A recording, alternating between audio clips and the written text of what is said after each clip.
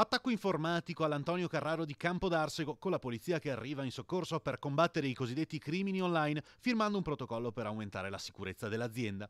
Da un mese era stato aperto un sito internet clone di quello della ditta dove erano state messe le foto dei trattori e della famiglia di industriali.